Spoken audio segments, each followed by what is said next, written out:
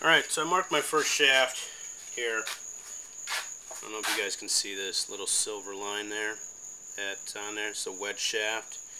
I use an old, just an old pipe cutter. You know, there's a lot easier tools to use if you have a workbench. I don't have a workbench as of yet. Um, keep doing these sets and I'll end up with one. But uh, I get it set the old-fashioned way.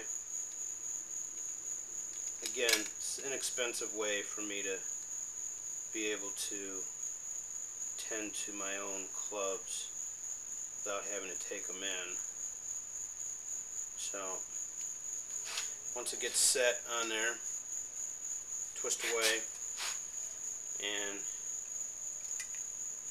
twist the shaft and you get a nice clean break. So, nice and clean. And I have around here somewhere my sandpaper.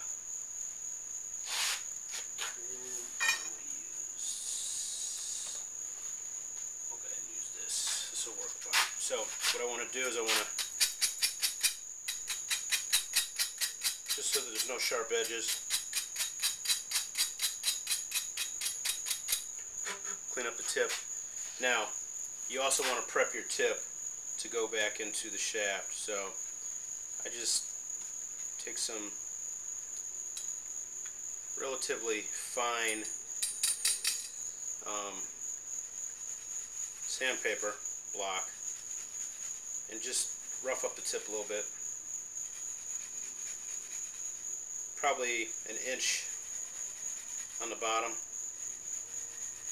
See, you can see discoloration. Well, I don't know if you can or not. I don't know if it's coming through, but a little discoloration just to give it some groove so that it uh,